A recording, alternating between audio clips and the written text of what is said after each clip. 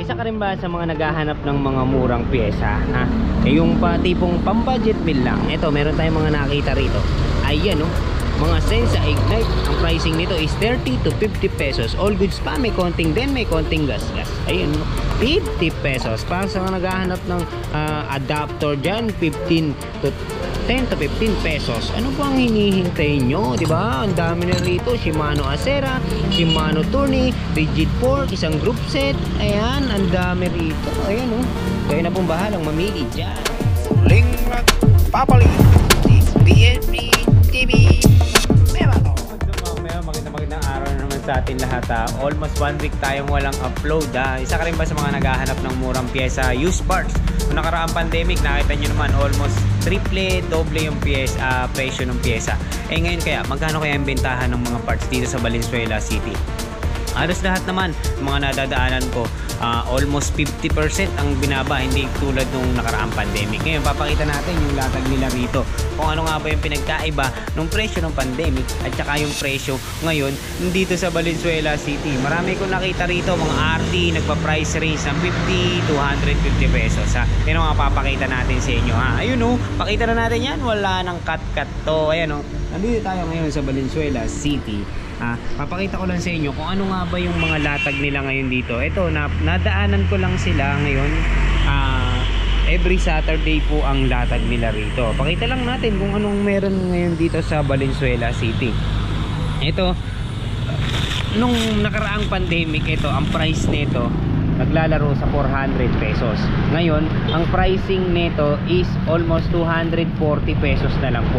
Dito yan sa Valenzuela City. Mga stainless po na Ragusa, ang price niyan is 240 pesos. Ito, ang price dati nito is almost 700 pesos. Ayan, makukuha nyo siya almost 600 pesos, 590 pesos dito sa Valenzuela City. Tapos ito, hindi kayo maniniwala, apa pahirapan to maghanap nung mga lately pumutok yung pandemic ito ang pricing nito is 350 ngayon nagpa-price range na lang to ng 150 pesos hanggang 140 pesos di ba? Solid. Ang mura talaga nilang magbenta rito. Tapos sa mga age speed nila mga cassette type ang bigayan nila rito is 550 pesos. Ito ang malaki mga ah siyempre hindi natin may iwasan yun. Nung pandemic talaga napakahirap kumuha ng supply. Kaya hindi mo ah, may iwasang magtaas ka talaga ng presyo. Kasi makakuha ka man mahal din ah, maipapasa sa'yo. Tapos sa mga 10 speed nila dyan nagpa price range lang ng 750 pesos. Para sa mga gustong mag-visit dito every Saturday may latag po sila Ah, minsan ah, ano nyo sa FB page nila ECQ Bikes and Accessories along MH del Pilar minsan kasi hindi sila naglalatag ha kasi minsan din hindi ako nakaka-update sa kanila ngayon lang tayo talaga nakapag-vlog ulit although busy talaga tayo sa trabaho sabi nga nila ah, mas priority natin talaga yung trabaho itong pagbablog baga sa ano hobby lang natin to hindi naman tayo full time na bike vlogger o naghahanap ng murang kung ano-ano pa. Tapos meron din tayong mga nakita rito, mga RD. Ang bentahan daw nila rito is 250 pesos. Mga Shimano Tourney, Shimano TX. Tapos meron tayong mga nakita, used parts, mga Shensa Ignite. Ito, ang bigayin daw nila rito, 50 pesos. Ayun, di ba? All goods. Merong konting din, pero ikaw na bahala. 50 pesos, negotiable pa. Saan ka pa, di ba? Tapos, sa mga adapter nila rito, pang hydraulic, pang mechanical, meron sila nagpa-price range ng 15, 10 to 15 pesos. Ayun. Tapos sa mga bateng-teng, minsan libre nyo lang daw sila makukuha rito. Ayun. Diba? Tapos mga bike tools, 15 pesos. Ganyan po sila magbenta rito sa Valenzuela City. Parang, para sa mga naghahanap naman ng isang buong group set, meron po sila dyan. Meron ako nakita, mga SRAM. Tapos mga used na rigid fork, meron din po sila. Tapos ito, ito, nagpa-price range to, mga remote lockout, ayan, mga Mountain Peak brand, ayan, mga air, solo air po yan, nagpa-price range yan 2,900. Tapos, sa mga Weapon Tower 7, nagpa-price range yan. Dati ito, nagpa-price range to, 4,800. Ngayon, 3,500 na lang ang bentahan. Tapos ito, ang pricing nito dati ng pandemic, nagpa-price range to 200 pesos. Ngayon, 120 pesos na lang. 'Di ba Malaking bagay talaga yung nagagawa nung ano, pagka sa ano yung ah, wala tayong iniindang karamdaman, wala tayong iniindang panganib kasi nung pandemic talaga, ang hirap lumabas, di ba? Ngayon, all goods na balik na tayo ulit sa dati. Unti-unti na mga nasa mga decreaser ito. Ito dati ang price nito is 250 ngayon nakukuha mo lang siya ng ah, 100 pesos. Di ba? Tapos meron sila diyan mga speed one. Ito malaki talaga inano nito. Tinaas dati niya nagpa price range dati yan 3537 ngayon ang price range na lang niyan is 2,800 pesos. Di ba mga speed one. Tapos meron pa sa, sa mga naghahanap diyan budget na hubs meron din sila. Mga rim brakes 350 pesos.